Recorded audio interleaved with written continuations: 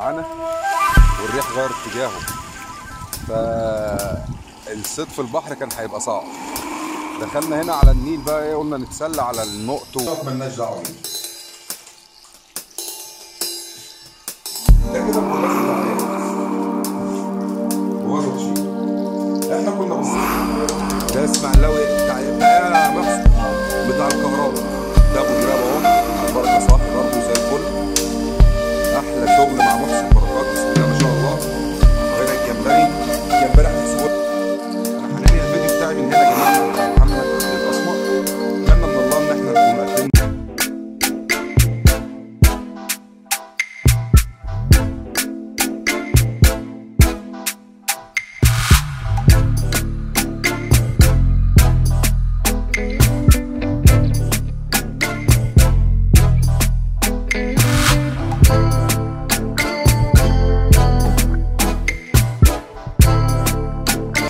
عليكم ورحمة الله وبركاته.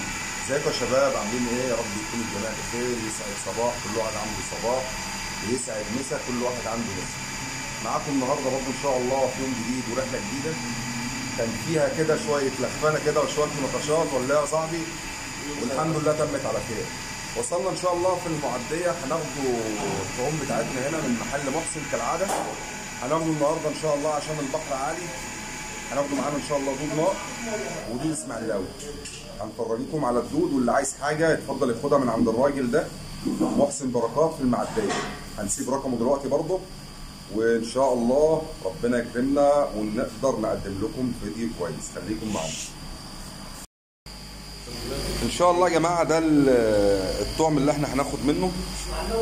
ده اسماعيلاوي بتاع بتاع يا محسن؟ بتاع الكهرباء. ده من هنا ده محسن ها من عندنا من البحيرة صح؟ آه هي الدوده دي رفيعه يا جماعة بس بديلة إيه؟ دود الرملة يعني بتبقى حاجة حلوة. وده أبو جراب أهو على البركة صاحي برضه زي الفل. أحلى شغل مع محسن بركات بسم الله ما شاء الله. وهنا الجمبري. الجمبري هتحسبوا لنا بكام النهارده يا محسن؟ التمن ب 20 التمن ب 20 بسم الله ما شاء الله يا شباب. أحلى محسن في الدنيا. الرقم تاني يا محسن؟ 012 040 2 واحد تمانية واحد تمانية. اللي عايز يحجز طعمه يا جماعة برضه محسن بركات تبعنا صلاة النبي السياسي اهوت أهو. عروس المعدية. بسم الله ما شاء الله. يومنا جميل والله المستعان.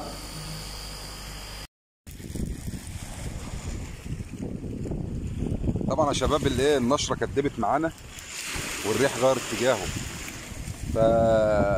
فالصيد في البحر كان هيبقى صعب. دخلنا هنا على النيل بقى إيه قلنا نتسلى على النقط وال- والسياس العروس الصغير استفتحت أنا أهو بكابورياية أهي. ربنا كريم إن شاء الله هنظهر عندكم برضو في الفيديو وننزل لكم الفيديو ده. إيه، نصبح عليكم برضو إن شاء الله دعواتكم يكون استفتاحنا أول استفتاح استفتاح محترم إن شاء الله. خليكم معانا. أهلا وسهلا بحضراتكم من جديد. طبعا زي ما قلنا في عنوان الفيديو بتاعنا إن إحنا طلعنا رحلة صيد في النوة. ولازم نحكي لكم إيه اللي حصل معانا. باختصار كده يا جماعة بصراحة إحنا اتعلم علينا أو أنا اتعلم عليا. اتعلم عليا من ناس 60 سنة. إيه اللي حصل معانا؟ واتعلم عليها برضو من النشرة الجوية يعني النشرة الجوية كدبت علينا. إيه اللي حصل معانا؟ هنعمل رسمة بسيطة كده عشان نقدر نوصل لكم إيه اللي حصل. بصوا يا جماعة عشان الجغرافيا دي برضو مهمة في الصيد عشان تبقوا عارفين. إحنا إيه؟ ده كده يا جماعة نهر النيل اهوت تمام؟ هنجيبه هنا كده بس.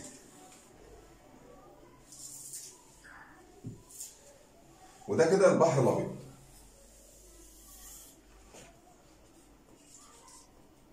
ده فرع رشيد.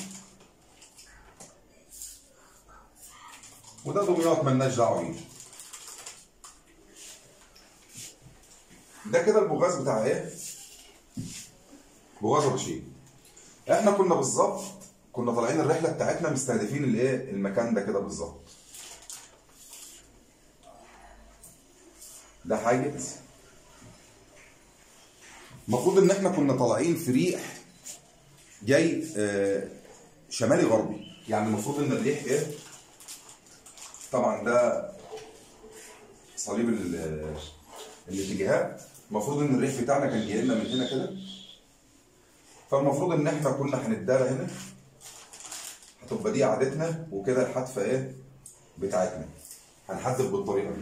معروف إن الحاجز ده الجنب اليمين بتاعه أفضل اللي هو هنا. فإحنا طبعا كنا طالعين في نوة وكنا عاملين حسابنا البحر بتاعنا 14 طبعا أربع ال- الريح بتاعنا 14 والبحر كان متر وربع. ريح 14 وبحر متر وربع ده مش مناسب خالص للشط. ولكن في وجود حاجز زي ده فهو مناسب جدا جدا جدا مع ريح إيه؟ جنوبي غربي أول مفاجأة حصلت لنا إن الريح النشرة كدبت والريح جه إيه؟ جه شمالي شرقي. خلف معانا الليلة خالص. بوظت معانا الدنيا. طبعا كان في هنا طيارات. هي بالفعل كده كده المكان ده كله طيارات. اللي هو يمين الحاجز ده. ولكن طيارات في البحر الهادي بيبقى كويس وبتبقى طيارات سمك. في بحر مجنون زي ده فالوعرات بتبان وكنا دايما بنوعره. الناس اللي راحت الصبح خدت أول أول ضوء خدت سمك ربنا كرمها إحنا قعدنا ساعة ونص ولا ساعتين حصلت لنا مفاجأة تانية إن الحاجز ده اتقفل حرس الحدود منع الصيد على الإيه؟ على الحاجز ومشى كل الإيه؟ كل الصيادين. طبعا إحنا عارفين المكان وعارفين جغرافيه المكان فرحنا ناقلين من هنا رايحين في المكان ده بالظبط كده في على النيل. رحنا سألنا الناس طبعا صلينا الجمعة في في مسجد هناك ورحنا لقينا صيادين كبار. الصيادين دول يا جماعة 60 سنة أقسم بالله العظيم. رحنا قعدنا جنب منهم كل واحد فيهم بسم الله ما شاء الله يرمي الرمية بتاعته ياخد سمكتين. وإحنا ما كناش قادرين ناخد ولا سمكة جنب منهم فطبعا الموضوع لما زاد من حده إحنا مؤمنين بالله ثم الرزق. الموضوع لما زاد عن حده فقلنا إيه نركز شوية نشوف الناس دي شغلها إيه. أول شيء عرفت إن هم معاهم طعم من طعمنا زائد طعم تاني. هم كان معاهم دود نار ودود رمل. إحنا كان معانا دود دود نار وكان معانا آه، إسماعيلاوي. المهم بعد كده ركزت معاهم اكتشفت إن هم بيحدفهم في نص المية. كانت السمكة واقفة. إحنا هناخد بقى إيه رسمة تانية كده للنيل للفرع ده؟ كده مثلا. السمكة كانت واقفة هنا يا جماعة. في نص النيل. هم كانوا العدة بتاعتهم مساعداهم إن هم يرموا. إحنا عملنا كل المحاولات أو أنا أنا بتكلم عن نفسي. عملت كل المحاولات عشان نقدر نوصل الحداف بتاعي لنص النيل ما قدرتش خالص. طبعا أنا كان معايا عود 4 متر ونص عليه عليه مكنة كبيرة كانت 7000 وكان معايا عود برضو تاني 4 متر ونص بس ريع كان عليه فايكنج 50 50 المكنة دي كان عليها 100 متر شعر والمكنة التانية كان تقريبا عليها 150 متر شعر. هم كانوا بيرموا بحداف حوالي 60 جرام أو 70 جرام. إحنا أنا تقلت الحداف لاكتر من كده ولكن ما قدرتش نوصل للإيه للمستوى بتاعهم ده.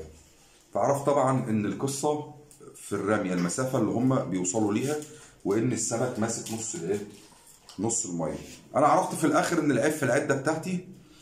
فطبعا عشان نقدر نوصل معلومه محترمه لحضراتكم وإن أنتوا برضو تبقوا عارفين إن المكان ده دايما في رشيد في سمك سياسي وقاروص آه، سياسي ونقطة وقاروص دايما طول السنة بس موجود بيبقى في نص المية. فهنعمل إيه عشان نقدر نحل اللغز ده؟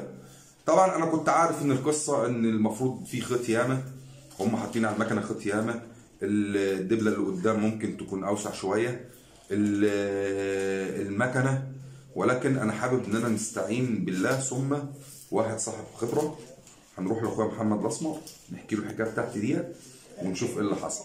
خليكم معانا ما تنسوناش تعملوا لنا لايك اشتركوا عندنا في القناة. الفيديو ده مهم جدا والله. أقسم بالله الفيديو ده مهم جدا. أنا كنت نتمنى إن حد يعمل لي حاجة زي كده ويفهمني الدنيا ماشية إزاي. لأن الصيد يا جماعة ما هو إلا جغرافيا. جغرافيا. آه اتجاه ريح مكان صيد آه طبيعة أرض للسمك نروح لمحمد الأسمر خليكم معانا. السلام عليكم ورحمة الله وبركاته. أهلا بيكم من جديد. طبعا زي ما قلت لكم من شوية على اللغز اللي إحنا عايزين نحلوه ده. فاستعنا بالله ثم أخ عزيز علينا رحنا له المحل بتاعه أخونا الكبير وعمنا الحاج محمد الأسمر.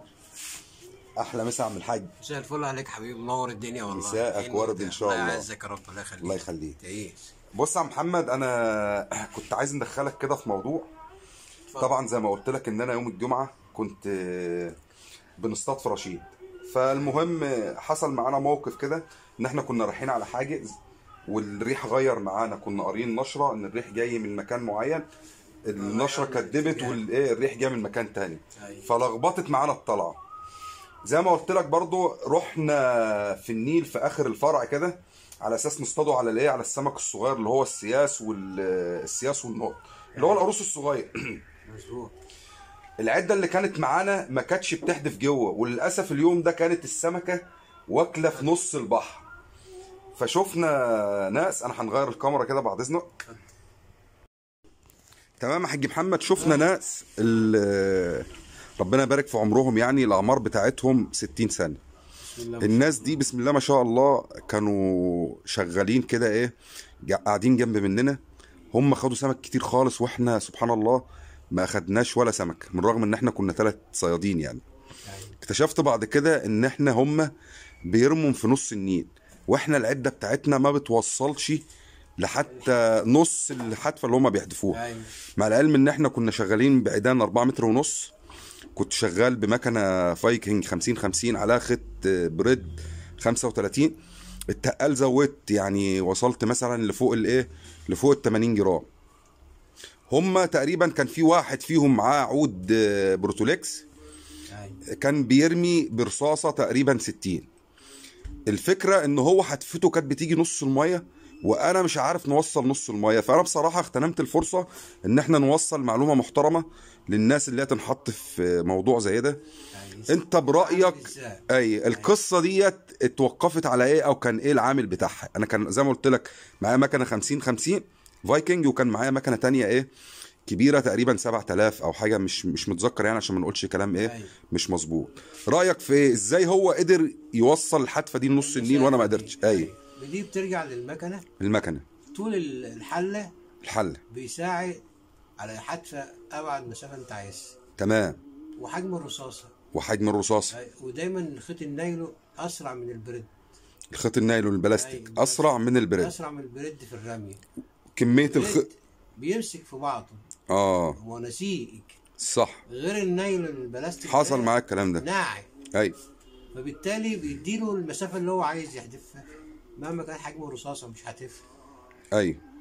مع برضه زيادة على الخيط على المكنة مثلا زيادة خيط المكنة؟ أي لازم تبقى المكنة فيها خيط مليانة. عاليه ممكن مثلا يكون هو حاطط 150 200 تعمل متر. سلاسة في ال- في الحتف. في الحتفه أي. ت- تسحب الخيط من على المكنة بسلاسة. أي طبعا. احتمال كبير طبعا يكون كلامك صح بنسبة 100% يا محمد أنا من ايد كلامك.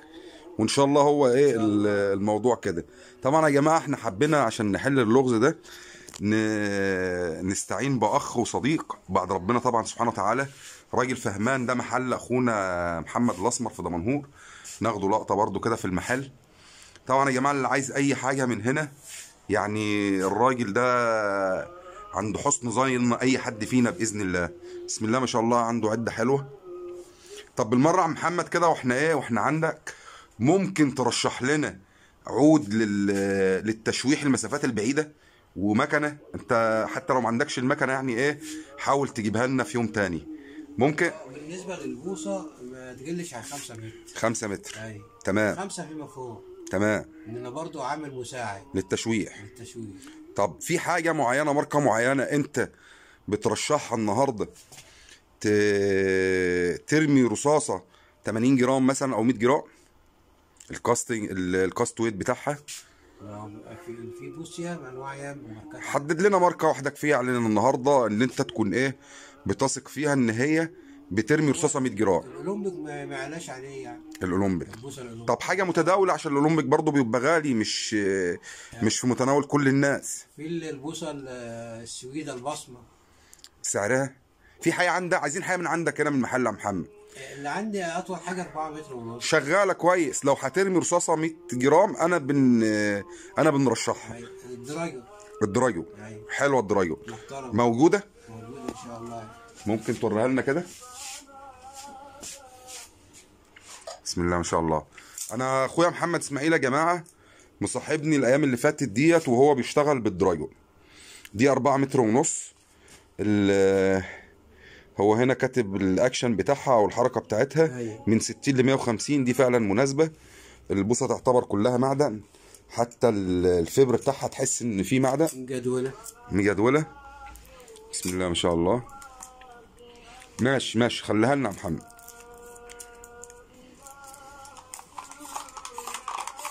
بقى بسم الله ما شاء الله. دي الجدولة يا محمد قصدك؟ أيوه. أيوه. تدي صلابة للبوصة. صلابة للبوصة. لبلوبها رقع شوية. أيوه. رقع بس عافي ولا رقع إيه؟ لا عافية عافي. أيوه ما ينفعش بوصة التشويع ما يبقاش عافية بسم الله ما شاء الله. البوصة دي حلوة. المقلوبة. أيوه. بسم الله ما شاء الله عليها يعني. تمام. طب عم محمد إحنا مكاننا في دمنهور. شارع البطاط بجوار مكتبة إيه؟ الزعيم. الزعيم. رقم تليفونك؟ 010 633 20 629 تاني 010 010 633 633 20 20 629 629 واتس واتس 03 وحي 03 وحايد 77 77 27 27 480 480 وتحت أمر حضرتك. البوصه دي يا عم محمد لو هتبيعها لحد اتفرج على الفيديو ده. هت هتبيعها له بكام؟ بإذن الله. إن شاء الله. هي البوصه دي متداولة. وفي محلات كتيرة عندها منها يعني. ماشي. عاملة 375 جنيه. 375 فأنا اللي هيجي إن شاء الله هنعمل معاه واجب. اللي هيجي من طرفنا؟ آه، إن شاء الله. هتعمل معاه واجب إن شاء الله. اللي هيتفرج على الفيديو ده يا جماعة وهيطلب البوصة ديت عم محمد بيوعده بواجب. طبعا أنا بنضمن عم محمد وإن شاء الله يكون عند حسن ظننا جميعا يا جماعة. أنا هننهي الفيديو بتاعي من هنا. لحظة نغير الكاميرا. كان معاكم طبعا أخوكم سامح الخوالقة قناة منوعات رحالة. من محل الأس- الأسمر لأدوات الصيد صاحب قناة الأسمر لأدوات الصيد. السلام عليكم. السلام عليكم ورحمة الله وبركاته.